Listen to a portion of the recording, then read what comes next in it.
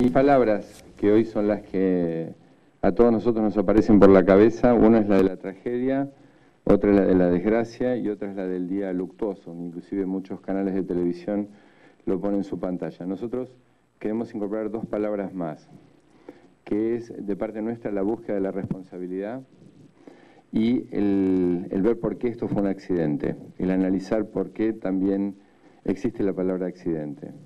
En primer lugar, queremos eh, desearles nuestras condolencias, enviar nuestras condolencias a las familias de las víctimas y bregar por la recuperación de todos los heridos que hoy están en distintos hospitales públicos. Y hacer un agradecimiento muy especial a todo el personal que hoy trabajó en la mañana de todos los organismos de salud, de atención, del SAME, de emergencias y en especial a, a los bomberos y a la Policía Federal, que muchas veces no están en las mejores hojas del recuerdo. Hoy, si no tenemos más víctimas, es porque los bomberos hicieron lo imposible, se metieron en lugares imposibles. Un bombero, un chico muy joven, que además lo, conocemos porque trabaja en este edificio, eh, sacó del piso del tren a un chico con vida de tres años. Sin ellos la desgracia hubiera sido peor y nos quería, no queríamos dejarlo pasar.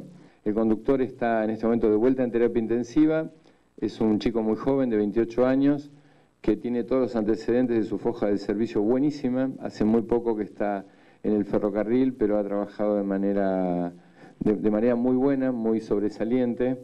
Es un chico joven y que estaba descansado en el momento que ocurre este, este episodio, porque había subido en Castelar, o sea, había hecho las paradas en cada una de estas estaciones. Después de un accidente que aquí mismo lo sustanciamos, que fue el accidente de San Miguel, nosotros pusimos GPS en todos los servicios de tren Argentina, del área metropolitana, algunos ya lo tenían, en este caso no lo tenían y tienen ahora un servicio de GPS que cada 10 segundos nos dice cuál es la velocidad del tren.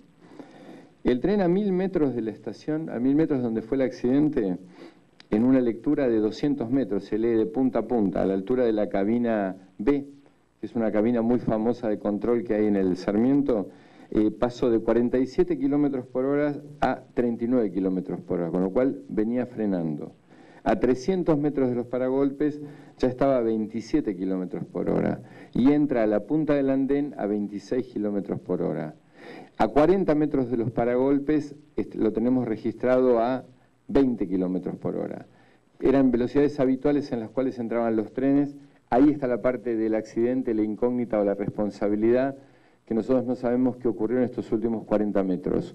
¿Qué fue lo que pasó? Porque el conductor estaba en su lugar de trabajo y el tren no paró. La, primera cosa que quería marcar era el esquema de la, velocidad que tenía. La segunda es, eh, nosotros tenemos registro, eh, digamos, sobre, sobre la cabina, hay un registro de voces en la cabina que ya está puesto a disposición de la justicia, pero donde el conductor se va, va hablando con con la persona, mm, con el encargado de ese caso de la línea, si hay algún problema, alguna vicisitud. Es el segundo elemento que vamos a tener para poder chequear esto. El tercer elemento es el de la cámara que, está fija en el tren, que todavía está en el tren, la formación, que tiene una película que ustedes han visto muchas cuando hay un accidente de arrollamiento, que se ve esa, esa película. La cuarta la hemos visto por algún canal de televisión, la pasó, que son cámaras que están en la estación ferroviaria. Quiere decir que Material de investigación hay mucho, es más, están todos los registros de chequeo y de análisis sobre las formaciones ferroviarias, de lo que pudo haber ocurrido con esta formación ferroviaria. Nosotros obviamente hemos puesto todo a disposición de la justicia y la CNRT va a funcionar como, como siempre lo ha hecho como auxiliar de la justicia en este caso.